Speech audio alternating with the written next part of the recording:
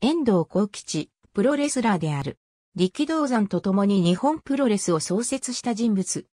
憧れの史上最強の柔道家、木村正彦の側にいたいと思い、国際柔道協会に参戦したがこの団体が崩壊、1951年、来日したボビー・ブランズらと共に、プロレスのトレーニングを積む。その輪の中に力道山がいた。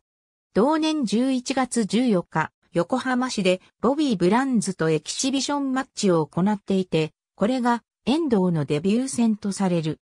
1952年、こう、東郷を名乗り、空手家の大山松達と共にアメリカ遠征。現地でグレート東郷と合流し、東郷三兄弟として各地を転戦。この時期の遠藤が劇が空手バカ一代、木村などに登場する。1953年に力道山が創設した日本プロレスに合流。披露パーティーでは力道山とエキシビションマッチを行っている。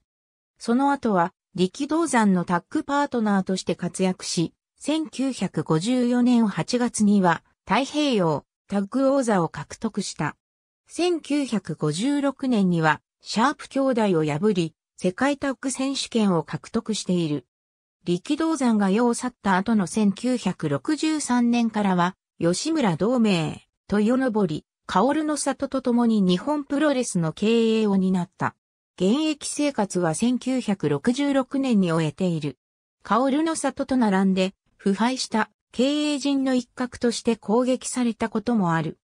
日本プロレスで営業部長を務めていた後輩の吉原公とソリが合わず、このことが吉原が日本プロレスを退社し、国際プロレスを設立したきっかけになったことでも知られている。